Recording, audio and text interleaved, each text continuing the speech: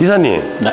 아니 또 새로운 용접기가 나왔다고 해서 제가 네. 이렇게 왔는데요. 네. 어떤 용접기입니까? 올인원. 올인원요? 네. 올인원 용접기이고요. 저희가 non-gas 용접, 미그 일반 용접, 미그 시너지 용접, 그다음에 아크 용접, 고주파가 들어있는 TIG 용접, 그다음에 플라즈마 절단 기능이 있는 올인원 용접기입니다. 그 올인원 용접기는 저희가 모델명이 MP200S입니다. 저희가 이 장비에 대해서 자세하게 설명을 해드리도록 하겠습니다. 아니 이사님 기존의 523 모델도 네. 정말 괜찮은 복합기였는데 이번에 나왔는 200S랑 차이가 있다면 가장 큰 차이는 어떤 걸까요? 아, 예. 가장 특이한 차이점은 고주파 방식의 티그 용접이 가능합니다. 그리고 플라즈마 절단이 50A로 세팅되어 있고요. 어. 절단이 약간 더 조- 훨씬 좋고요. 네 지난번 제품보다. 네. 어, 네, 그런 게 특징이라고 생각하시면 됩니다. 네. 그본 장비는 AC 단상 220V 용이고요. 미그는 190A 최대 출력이, 그다음에 티그도 190A,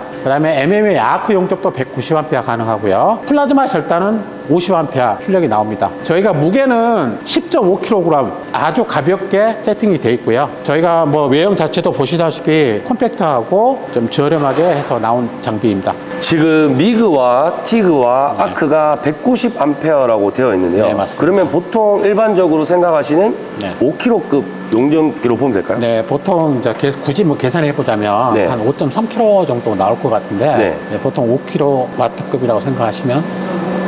어, 그리고 지금 플라즈마 절단이 되는 부분도 50A까지 된다고 하셨는데 네. 그러면 최대 절단 두께가 몇 T 정도 될까요? 보통? 이제 저희가 절단했을 때 최대 12T까지 절단을 했었습니다. 12T, 네. 이따 잠깐 보여드릴 때 한 10T 정도 절단하는 거 보시고 네. 영상의 속도나 이런 거 참고해 주시면 됩니다. 어, 그래서 이 정도의 스펙 값을 가지고 있다고 하니까요. 지금부터는 각 모드별로 들어가서 네. 설치하는 방법과 사용하는 모습을 또 이사님과 함께 네. 보여드리도록 하겠습니다. 네. 시인성이 상당히 좋게 그 세팅을 할 수가 있습니다. 정확한 정밀한 제어를 이용해서 조건을 잡아놨고요. 좀 쉽게 용접을 하실 수 있다고 생각하시면 됩니다. 그 용접기에 들어있는 기본 구성품은 다음과 같습니다. 먼저 이제 미그 토치 지금 4m 하고요. 아크홀더 5m, 그다음에 어스 케이블 3m, 플라즈마 토치 8m. 거기에 이제 플라즈마 같은 경우는 실드캡, 노즐, 전구 절연체 이렇게 들어있는 상태입니다.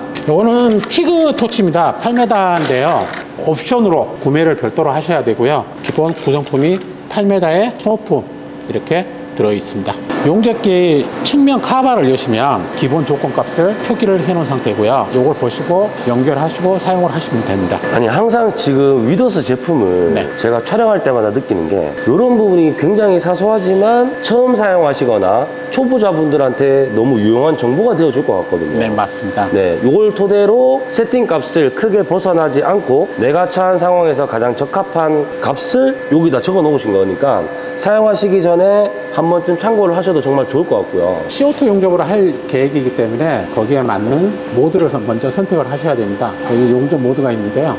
그래서 이렇게 누르시면 자 MMA 용접, TIG 용접, 플라즈마 절단, MIG, MIG synergic이 되어 있습니다. 제가 일단 시너지 모드로 할 거고요. 여기 보시면 스틸 CO2 100%, 스틸 혼합가스, 알곤 80대 CO2 20% 들어가는 겁니다. 그 다음에 non-gas 용접, SUS non-gas 용, 혼합가스, 스테인리스 solid 용접인데요. 알곤 98대 CO2 2%가 혼합된 가스를 이용하는 겁니다. 그 다음에 알루미늄 용접, 이렇게 선택하게 되어 있는데 제가 철 용접이기 때문에 먼저 모델을 스틸 CO2 100% 넣을 거고요. 와이어는 지금 0.8짜리를 제가 넣었습니다. 이렇게 선택하게끔 되어 있는데 0.8을 좀 선택을 해놨고요. 그래서 이 상태로 용접을 제가 진행을 하도록 하겠습니다. 뒤에 가스하고 air line이 있는데 요 위쪽은 에어 절단할 때 플라즈마 절단할 때 에어를 세- 들어가게끔 돼 있고요. 자, 이 밑에 여기도 같이 또 알곤 가스도 알곤 용접할 때 사용하게 되어 있습니다. 미그 용접할 때는 여기 요 라인에 CO2 가스나 혼합 가스를 넣게 되어 있습니다. CO2 용접하기 때문에 예, CO2 가스 넣는 호스인데요. 아, 이쪽이 CO2 가스 넣는 곳입니다. 해보도록 하겠습니다.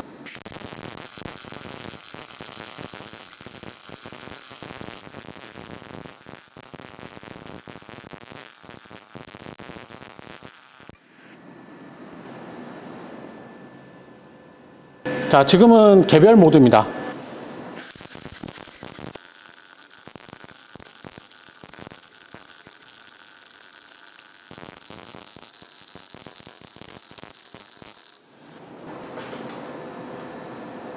지금 이쪽이 synergic 모드로 용접을 한 거고 왼쪽이 일반 개별 모드로 용접을 한 것인데 결론적으로는 비슷하다는 걸 보여주는 화면입니다. 자, 지금 방금 이사님께서 solid 와이어를 장착해서 CO2 용접을 해주셨습니다. 근데 지금 이 복합기에서 CO2 용접을 할 수 있는 경우의 수가 두 가지였는데요. 처음에는 synergic 모드로 하셨고요. 그 다음에 두 번째는 개별 모드로 하셨습니다. 이 synergic 모드와 개별 모드가 조금 헷갈리실 수도 있을 것 같은데 지금 synergic 모드의 경우 초보자분들께서 사용하시면 조금 더 유용할 것 같았는데요. 전류값만 맞추게 될 경우에 내가 지금 사용하고 있는 용접봉의 굵기 지금 저희가 사용한 건 0.8mm였습니다. 그러면 저절로 내가 사용하려고 하는 모재의 두께에 적합한 전압값도 저절로 세팅이 됩니다. 그래서 용접이 계속 되는 모드였고요. 그리고 측면에 아까 전에 열었을 때 내가 처한 상황에 적합한 전압값과 전류값을 설정할 수 있는 이 표기가 있었습니다. 그 표기대로 맞추시는 경우가 일반 미그 모드. 네, 개별 모드. 개별 모드, 전압값과 전류값을 둘 다 내가 임의로 조절할 수 있는 모드였습니다. 근데 우리가 지금 이렇게 용 접을 했는 모습을 보여드렸는 이유는 그렇게 하나 이렇게 하나 같다. 거의 같아지는 느낌이기 때문에 네. 대신 이제 초보자분들은 개별 모드를 하시면 용접 조건을 맞추기가 까다롭습니다. 네. 물론 표가 있어서 예를 2T를 하겠다면 2T에 관련된 걸 들어가면 되지만 네. 예를 들어서 2.2T, 2.3T가 된다. 그러면 네. 그걸 맞추기가 쉽지 않겠죠. 그렇죠, 그렇죠. 예, 나, 나중에 이제 시너지 모드로 하다 보면 전류만 조금씩 조금씩 올려보면 네. 같이 전압이 움직이기 때문에 용접하기 편합니다. 그렇죠. 그래서 초보자분들께서 CO2 용접을 하실 때 이 시너직 모드가 굉장히 유용하게 사용이 될 수 있을 것 같았고요. 어, 이번 용접은 스텐 3T 용접을 할 겁니다. 와이어는 스텐 308 0.8mm 솔리드 와이어가 들어가 있습니다. 그래서 그걸 이용해서 용접을 진행해 보도록 하겠습니다.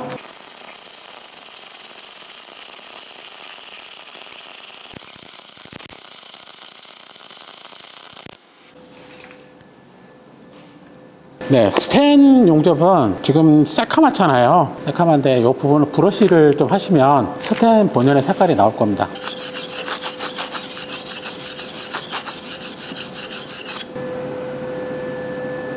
논가스 용접은 일반 철 용접을 하실 때 보면 요 좀 어스 케이블이 있고 용접에서 나온 요 라인이 있는데 이걸 바꿔 주셔야 됩니다. 그래서 어스를 떼고요. 아, 용접해서 나와 있는 이 선은 마이너스로 갑니다. 마이너스 연결되시면 되고 어스 케이블은 플러스 단 이렇게 되면 자 이때는 토치가 마이너스 극성으로 유지가 되는 겁니다. 자 non-gas 용접은 모재는 non-gas를 선택하시면 되고요. 지금 제가 와이어 굵기는 0.95 세트 넣어놨습니다. 어, 나머지는 시너지 모드가 있고 뭐 미그 개별 모드는 뭐 원하시는 대로 사용을 하시면 되고요.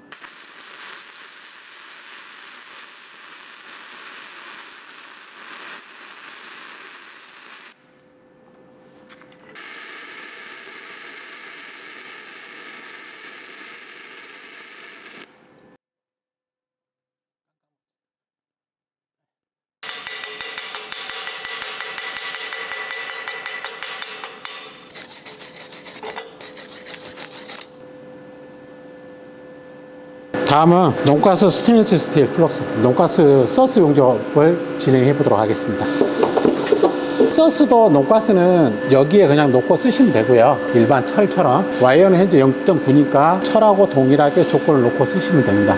어, 스텐 non-gas 용접을 진행할 거고요. 두께는 약 2.5T 정도 됩니다. 전류를 좀 높여서 진행을 해 보도록 하겠습니다.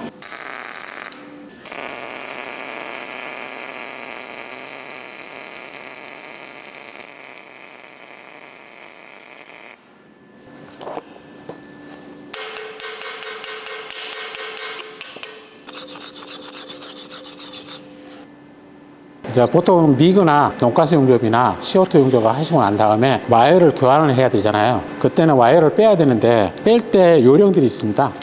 떼시고 용접이 끝나고 나면 보통 와이어들이 이 끝단에 동그랗게 말립니다. 둥그렇게 그래서 팁 내경보다 좀 커요. 그러다 보면 잘 안 빠져나옵니다. 그래서 꼭 끝에를 절단을 꼭 해주시고 와이어를 뒤로 빼시면 됩니다. 자, 지금까지 이사님께서 가스를 주입해서 사용하는 CO2 용접과 가스가 주입되지 않고 하는 non-gas 용접 두 가지를 보여주셨습니다. 조금 차이를 느끼셨나요? 일단 지금 이 복합기 자체가 non-gas 그리고 CO2 가스 둘 다 사용할 수 있는 기계였습니다. 그리고 지금 이사님께서 똑같이 같은 모재에 두 번씩 용접을 해주셨는데요. 눈치채신 분들도 있으시겠지만 기본적으로 논가스 용접과 가스를 주입해서 사용하는 CO2 용접 의 차이가 비드가 일단 네. 확실하게 차이가 많이 났습니다. 가스 넣는 게 확실합니다. 네, 가스 넣는 게 확실하고 비드도 깨끗하고 그리고 망치로 벗겨낼 일도 네. 없었습니다. 그리고 지금 용접봉도 달라져야 했는데요. 용접봉에 조금 비밀이 있다고 해도 과언이 아니지 않나요? 네, 맞습니다. non-gas는 네. 가스가 없이 사용하다 보니까 네. 와이어 용접봉 내부에 그 화학적인 플럭스라는 게 들어가 있습니다. 네. 그래서 그게 타면서 공기층을 보호하는 역할을 하거든요. 네. 그래서 spatter도 튀고 네. 훨씬 많이 튑니다. 그죠. 이 spatter가 많이 튀는 모습이 네. 용접할 때도 잡혔었는데 네. 제가 한 가지 말씀을 드리고 싶은 부분은 이 뭔가 업으로 하시는 용접을 전문적으로 하시는 분들은 가스를 주입해서 CO2 용접을 선호하시겠지만 일상적으로 가정에서 쓰기에 이런 가스를 또 어렵죠. 구비하기가 네. 어렵거든요. 그럴 때 non-gas 용접을 쓰시면 초보자분들도 쉽게 용접이 가능하다는 차이점이 있으니까 그렇게 봐주시면 좋을 것 같고요. 다음은 알루미늄 미그 용접을 이제 진행해 보도록 하겠습니다. 네. 알루미늄 모재를 쓸 때는 몇 가지 후속 조치가 좀 필요한데 네. 주로 토치에는 카본 라이너를 넣습니다. 네. 그래서 이동을 할 때 부하가 안 걸리게 네. 그래야만이 송급 자체가 원활해지기 때문에 그렇게 하고요. 이따가 영상에서 잠깐 보시겠지만 안에 내부적으로 좀 이 앞쪽에 조치를 좀 취하는 게 있습니다. 그걸 꼭 선행한 다음에 진행을 해 주셔야 돼요. 알루미늄 용접은 가스를 주입해서 알곤가스를 주입을 해서 사용을 하셔야 됩니다. 네, 이 부분도 중요하고요. 논가스로는 안 됩니다. 네, 알루미늄 논가스 없습니다. 네.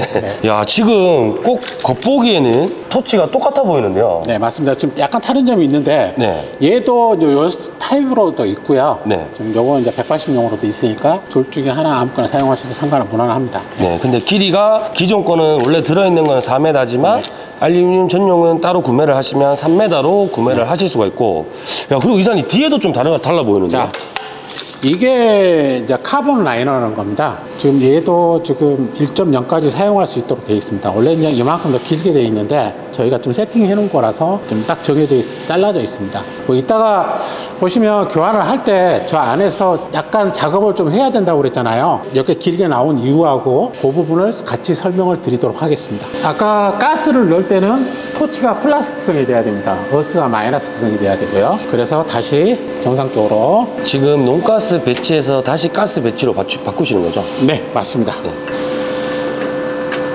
용도께서 나온 거를 플러스에 갖다 놓으시고요. 자, 어스는 마이너스. 알루미늄이니까 모재를 맨 밑에 알루미늄, 알곤 100% 가스 들어가고요. 와이어 굵기는 제 1.0을 사용할 겁니다. 나머지는 미그 시너직으로 좀 용접을 할 겁니다. 네, 전류는 조금 낮춰서 용접을 한번 해보도록 하겠습니다. 모재가 좀 4T입니다. 4T 용접해서 용접을 해보겠습니다.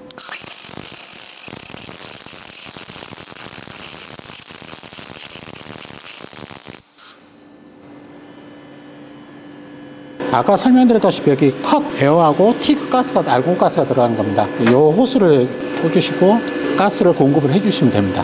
TIG 알곤 용접을 할 겁니다. 알곤 용접을 할 건데 알곤은 여기 보시면 TIG라고 되어 있습니다. 여기 TIG에 이쪽에 플러스고 이쪽에 토치 그림이 있죠. TIG는 어스가 마이너스 어스 집게가 플러스로 가야 되고요. 토치는 요 라인 마이너스가 연결되는 겁니다. 나중에 요 라인은 플라즈마 토치하고 같이 사용하는 공간입니다. 토치 해서 연결을 해 주시고요. 자, 토치 스위치. 버스 케이블입니다. 자, 여기 용접기 나오는 요거는 그냥 빼놓으시면 됩니다. 체결하시면 되고요. 자, 여기 우선 용접 모드를 선택해서 여기 틱으로 가야 됩니다. 티그에 가시면 되고요. 자, 티그일 때는 얘는 의미가 없습니다. 얘만 전류 조절이 되는 겁니다. 그리고 이제 참고로 아까 이제 미그나 다른 데도 똑같습니다. 여기 보시면 ET가 있습니다. 현재 눈에. 여기 토치 모드를 제가 누르면 4T로 변합니다. ET 4T. MIG나 플라즈마 절단, 알곤 용접은 다 동일한 게 적용이 되는 겁니다. 자, 2T는 뭐냐면 이 토치 스위치가 하나, 둘. 자, 다시 한번 보여드릴게요. 2T는 하나, 용접하고 용접 안 하고 싶다 떼시면 됩니다 4T 모드에 놓으시면 눌러서 용접을 한다고 스타트를 하면 딱 떼시면 됩니다. 그 용접을 쭉 하시다가 끄시고 싶으시면 다시 눌렀다가 놓으시면 됩니다. 이게 4T. 말 그대로 two touch, four touch 개념이라고 생각하시면 됩니다. 수동, 자동. 2T는 수동, 4T는 자동. 자, 여기 보시면 가스 시간이 있습니다. 자, 누르시면 초기 가스가 깜빡깜빡거리고요. 누르시면 또 후기 가스가 깜빡깜빡거립니다. 요 알곤 용접은 초기 가스하고 후기 가스를 제어를 하는데 시간 이렇게 돌려서 제어가 가능하고요. 0.2초서부터 3초까지. 보통 일반적으로 그냥 토치 쓰시면 한 0.3초 정도 놓으시면 충분하십니다. 후기 가스는 용접이 끝나고 난 다음에 모재 산화된 걸 방지하고 자 가스를 더 방출을 하는 겁니다. 보통 얘는 한 2초나 3초 정도 놓으시면 충분하게 웬만한 거는 쓰실 수 있을 것입니다. 이 용접 기는 고주파 방식의 알곤 용접입니다. 보통은 lift TIG로 해서 텅스텐을 모재를 대고 딱 일으켜서만 아크가 일어나는 방식인데 얘는 허공에서 눌렀을 때 아크가 튑니다. 이렇게. 보통은 lift TIG라고 해서 텅스텐 모재를 딱 대고 눌러서 이렇게 일으킵니다. 근데 이 방식이 이제 일반적으로 용접할 때 좀 힘드니까 스타트하기가 좀 어려움이 있는데요. 자, 얘는 고주파 방식이라 허공에 딱 띈 상태에서도 스타트가 이렇게 쉽게 됩니다. 자, 참고적으로 알곤 용접은 잘 못하는데요. 자, 이런 식으로 용접한다는 정도만 해서 보여드리도록 하겠습니다.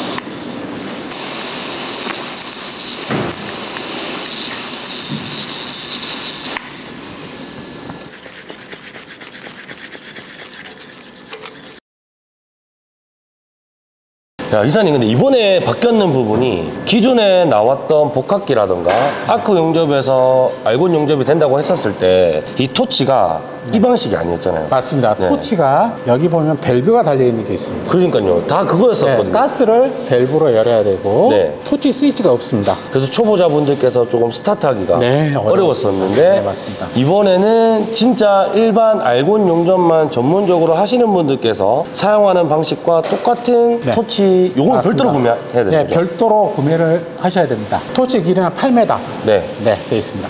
이번에는 MMA 아크 용접 진행을 해보도록 하겠습니다. 자, 아크 용접을 하기 위해서는 여기 보면 미그, 그 다음에 MMA라고 되어 있습니다. 플러스 극성, 극성이 있고 마이너스 극성이 있는데 플러스는 홀더. 자, 이 홀더를 연결해 주시면 되고요. 마이너스에는 어스 케이블을 연결을 해 주시면 됩니다. 다음에는 용접 모드 눌러서 MMA 해 주시면 되고요. 전류 조절하시면 되고요. 여기 전압은 무부하 전압이고 용접할 때는 좀 더 낮아질 겁니다. 부하 전압으로 얘만 조절하시면 됩니다. MMA 용접봉 6023이고요. 막봉입니다. 3.28 용접을 할 거고요. 전류는 현재 100A 났는데 190A까지 출력이 나올 수 있습니다. 그래서 4파의 용접까지 가능하니까요. 꼭 참고해 주시면 됩니다.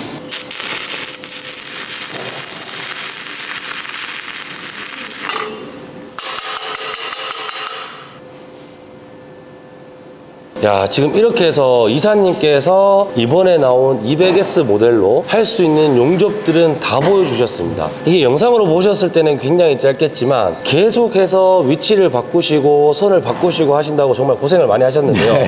이 영상을 보시고 지금 일반 용접, MMA 용접, 아크 용접부터 논가스 용접, 그리고 알곤 용접, CO2 용접. 네. 그러니까 안 되는 게 없는 용접기래요. 레이저는 안 되겠지만. 아, 그렇죠. 레이저 용접은 별도로 봤을 때 네. 일반 용접기로 할 수 있는 부분들은 다 가능하네요. 아, 가능합니다. 네. 근데 또 여기서 끝이 아니라 플라즈마 절단. 절단까지. 네. 그럼 지금 플라즈마 절단을 마지막으로 또 한번 사용하는 모습을 보여주시겠어요? 네, 네. 저희가 일반 플라즈마 일단은 일반 철골 한 10T 정도 될 건데 네. 뭐막 용접하고 이런 것들 해서 같이 잘라보도록 하겠습니다. 네. 외장 컴프레셔를 연결해서 외부의 공기를 안으로 주입해줘야 되는 방식입니다. 네. 절단 토치입니다. PT31이라는 모델의 그 토치를 사용하고 있고요. 자, 플라즈마 토치는 여기 컷 두개 단자를 이용하고요. 자, 아까 TIG처럼 토치 쪽에는 여기에 조이게 되어 있고요. 토치 스위치에서 체결하시면 됩니다. 버스는 네. 그래서 모드에서 컷 넣으시면 되고요. 2T, 4T 선택하시면 되고 후기 가스만 적용이 가능합니다. 용접 끝나고 난 다음에 몇 초간 또 가스를 방출을 할 거냐 얘는 충분히 해주시는 게 좋습니다. 그래야 노즐이 마모가 작습니다. 플라즈마 절단기는 모재에 대고 스타트를 해야 됩니다. 그냥 안 일어나요. 파이로트가 없습니다. 대신 이 절단 전류는 50A 나왔습니다. 보통 이제 일반적으로 사용되는 것들이고요.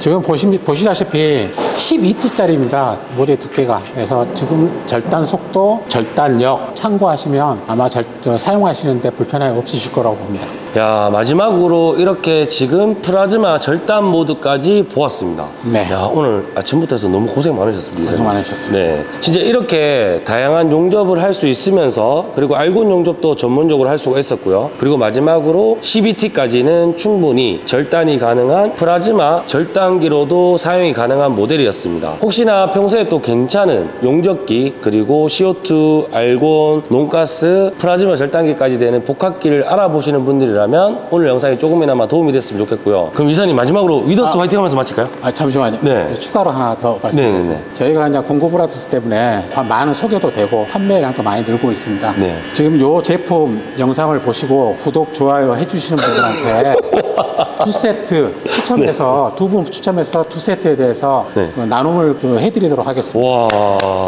이게 돈이 비싼 건데도 두 대나 지원해 주셔서 너무 감사하고요. 많이 해드리면 참 좋은데. 아닙니다, 아닙니다. 두 대도 정말 감사하고요. 네. 늘 하셨듯이 영상 하단에 더보기란을 누르신 다음에 링크를 터치하시거나 클릭하시고 집 주소, 성함, 전화번호를 남겨주시면 신청이 완료되니까 또 많은 분들께서 참여해 주셨으면 좋겠고요. 네. 이제 위더스 화이팅 하면서 마칠까요? 네, 이사님? 맞습니다. 위더스 화이팅! 감사합니다. 감사합니다. 고맙습니다, 이사님. 고맙습니다. 네.